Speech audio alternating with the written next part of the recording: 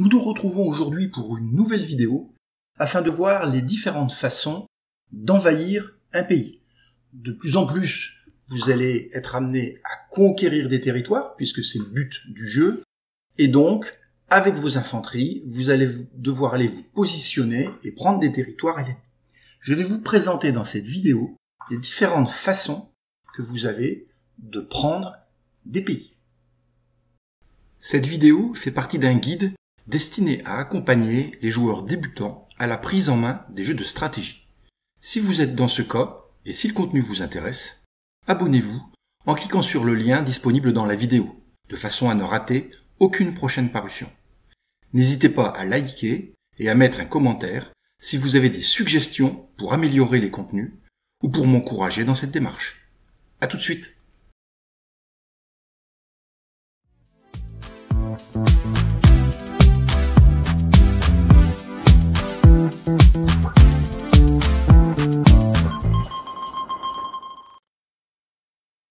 La première façon que nous avons pour prendre les territoires adverses, donc que ce soit des provinces ou des villes, la première façon, c'est d'envoyer directement des troupes à pied pour prendre ces territoires. Donc on a deux façons de faire. Soit on part au hasard, c'est-à-dire on se dit, voilà, par exemple, par exemple ici, donc sur l'Angleterre, je ne vois pas quelles sont les troupes, en position. Comme je sais que ce sont les États-Unis qui sont venus, on peut se douter que les États-Unis ont pris les, pays, mais qu'ils se sont déplacés, c'est-à-dire qu'ils n'ont pas laissé dans chacune des villes et dans chacune des provinces des troupes. Donc on y va un petit peu au hasard, c'est-à-dire qu'on prend par exemple des troupes peu chères. Je vais par exemple prendre les troupes qui sont en train de se déplacer ici. Nous avons là donc des gardes nationaux donc, ce que je peux faire, là j'en ai 8, vous voyez, dans mon avion, puisque mon avion va venir ici à Calais. Je fais séparer. Je prends une seule troupe. Donc j'en prends une. Là j'en ai deux. Une. Et je vais la déplacer, par exemple, à Londres. Donc automatiquement, ma troupe, quand elle va arriver ici, elle va donc se déplacer à Londres. S'il n'y a aucun défenseur, aucun obstacle, aucune troupe sur son déplacement, je vais donc prendre la ville sans souci. Je peux, pour multiplier mes chances, donc là je suis sur la troupe, fais attention, 1 c'est celle qui est partie, je suis pas sur mon groupe de troupes. Alors, de troupes, j'arrive à l'attraper. Des fois, c'est un petit peu...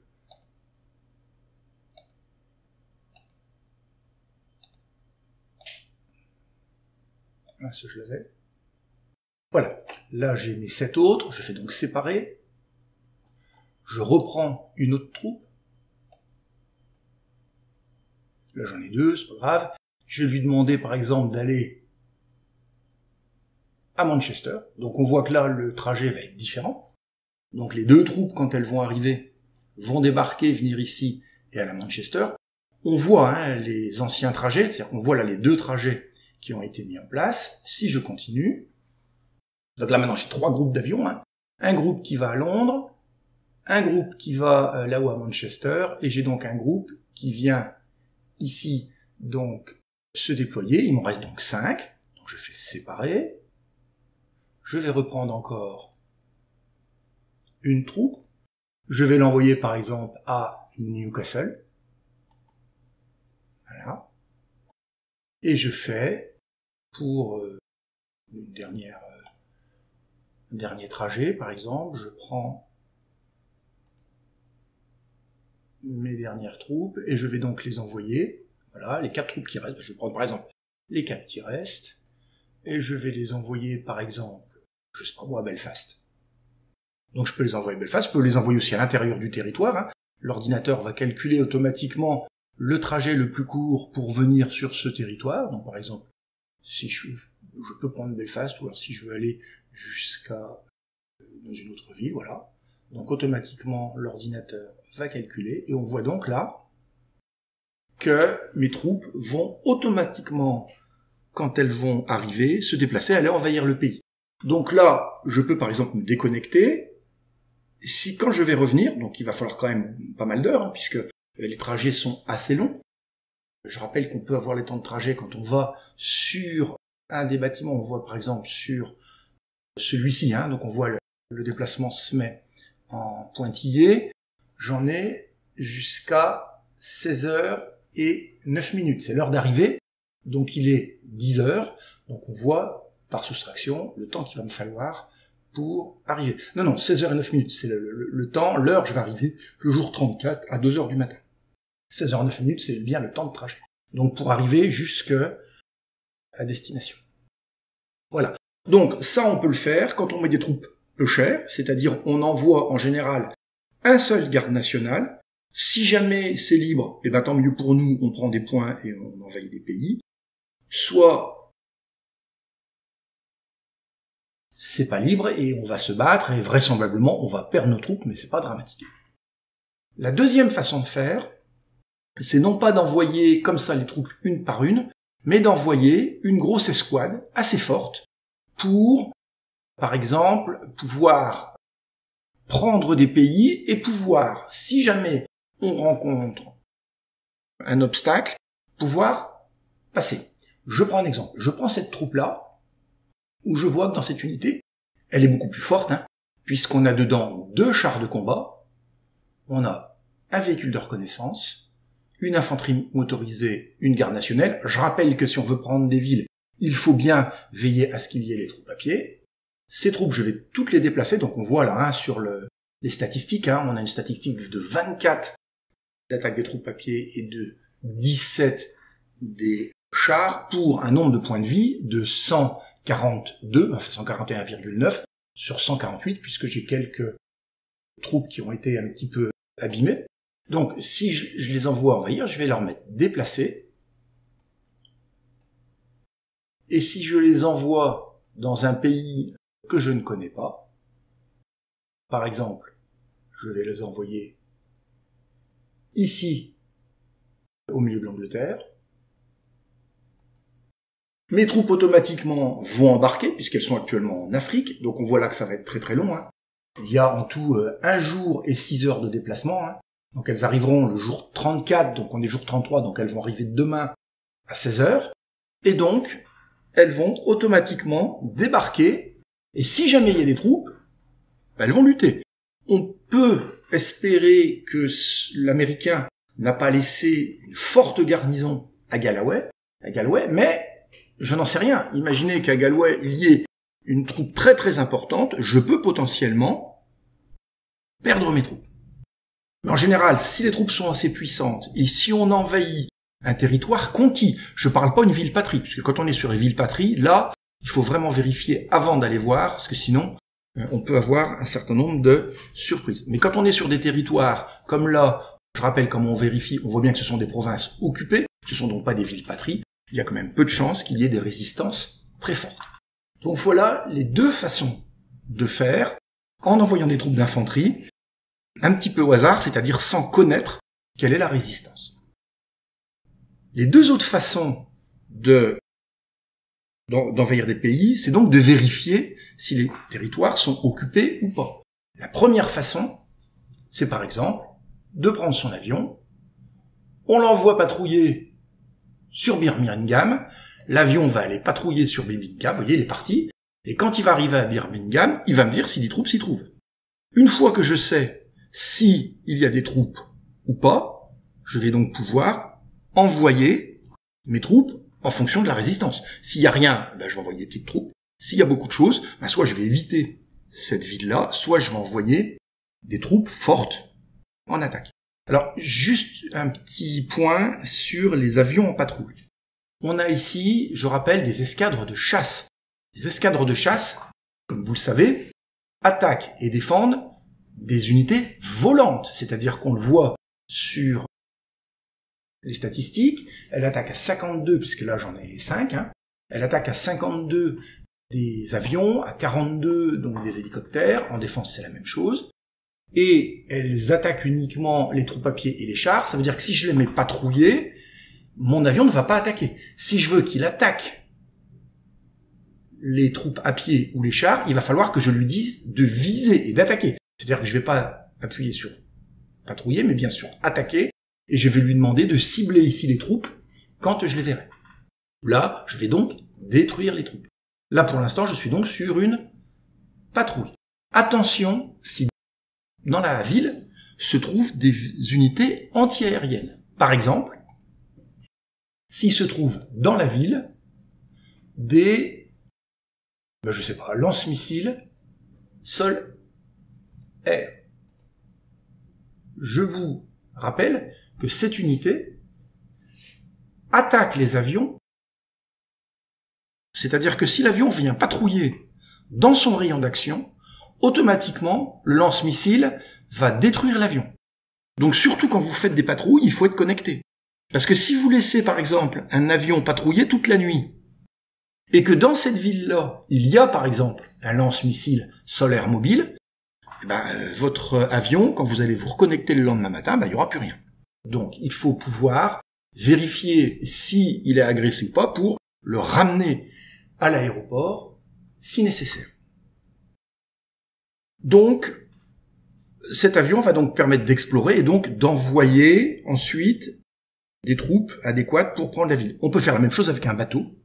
On prend le bateau, si on le pose près de la côte, je prends mon bateau qui est ici, attendez, je quitte mon avion, je prends mon bateau qui est ici, si je l'envoie et que je le positionne à côté de Plymouth, vous voyez, il y a un cercle, mon avion, quand il va arriver à côté de Plymouth, il va donc, avec son radar, voir s'il y a des troupes ou pas, et si, potentiellement, il a des troupes qu'on va lui faire attaquer pour vider la ville avant d'envoyer nos troupes d'attaque.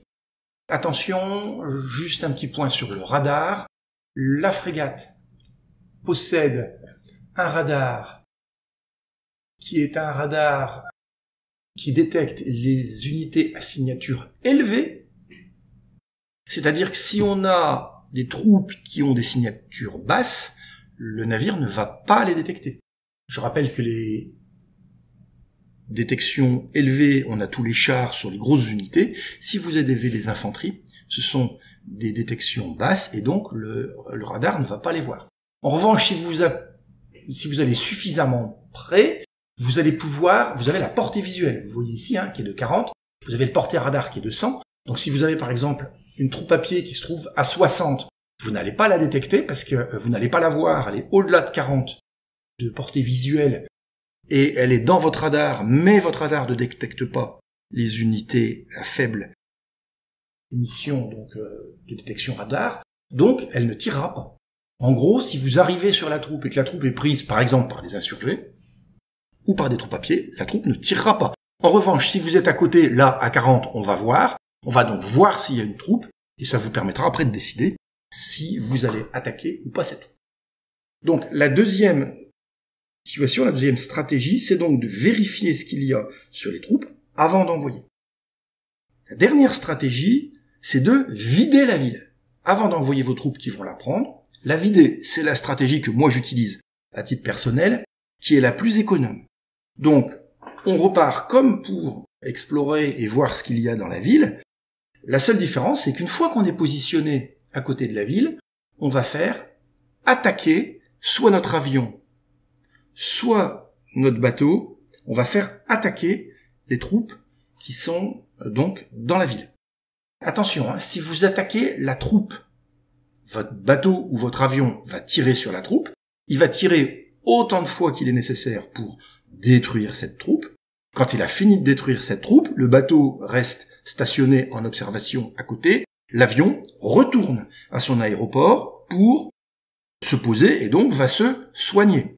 En revanche, si vous attaquez la ville, je vais prendre un exemple. Par exemple, mon bateau, je ne sais pas ce qu'il y a dans Plymouth, mais je me dis, comme je vais aller peut-être m'absenter parce que je vais aller me coucher, je veux qu'il vide la ville, donc je vais le faire attaquer le centre de la ville voyez, je vais venir là, Plymouth, et j'attaque le centre de la ville.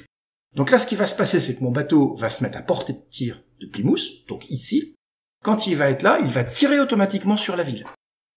Qu'il y ait ou pas des troupes. Donc ça veut dire que s'il y a des troupes positionnées au centre de la ville, le bateau va donc tirer dessus et les détruire. S'il n'y a pas de troupes, ben, lui va tirer et va donc détruire les bâtiments. Donc là, il y en a pas. Il y a juste un port niveau 1, mais le port niveau 1, on ne peut pas le détruire. C'est un bâtiment qui reste. Par contre, il va donc détruire la population. On est à 5,3 de population. S'il tire toute la nuit, demain quand je vais revenir, la population sera peut-être à 2 euh, ou à 1, en fonction du temps qu'il aura euh, tiré. Il en va de même pour l'avion. Si mon avion, je lui dis d'attaquer, par exemple, le centre de Birmingham, il va tirer sur le centre de Birmingham, donc il va tirer sur les troupes qui s'y trouvent, et quand il aura fini de tuer les troupes, il va continuer de tirer, parce que euh, il n'attaque pas la troupe, il attaque la ville. Alors, un petit point quand même sur les, les statistiques d'attaque des avions. On voit qu'ils détruisent les troupes, donc. Il va donc détruire avec 10 hein, les, troupes à pied, 7,5 les chars, s'il y en a. Il va pouvoir détruire la population. Vous voyez, il a un pourcentage contre les populations. En revanche, il ne détruira pas les bâtiments. Le chasseur aérien n'a aucune influence de destruction sur les bâtiments. Donc si vous avez, je sais pas moi, des hôpitaux, si vous avez des casernes, si vous avez des industries, tous ces bâtiments ne sont pas détruits. Je vous ai donc présenté les différentes façons que vous avez de conquérir et de détruire, donc d'envahir un pays. En milieu et en fin de partie, vous aurez encore une autre façon, c'est d'utiliser les missiles. Le missile permet de se positionner à distance avec un engin lanceur de missiles, donc soit terrestre, soit un sous-marin, soit un avion, soit un bateau, et donc à longue portée de tirer des missiles jusqu'à ce que vous vidiez la partie, de telle façon après de pouvoir prendre le territoire sans, avoir de résistance. Je rappelle bien que pour prendre un territoire, il faut absolument une troupe à pied, que quand vous prenez un territoire, un certain nombre de bâtiments vont être détruits, que le moral va rebaisser à 25, que ce soit une ville ou que ce soit une province, et dans les villes, quand vous avez votre morale qui, qui est à 25, vous allez donc avoir une production qui va diminuer, il va falloir que le moral remonte petit à petit, et que tant qu'il n'a pas atteint 35, potentiellement, les insurgés peuvent arriver dans la ville. Donc il est important, quand vous prenez une ville, si vous voulez la garder, de laisser des troupes dans cette ville jusqu'à ce que votre morale soit revenu à 35 et plus. Et dès que vous avez dépassé les 35 et plus, vous pouvez sortir vos troupes, il n'y a plus de risque que les insurgés reviennent. Je vous dis à très bientôt pour d'autres vidéos.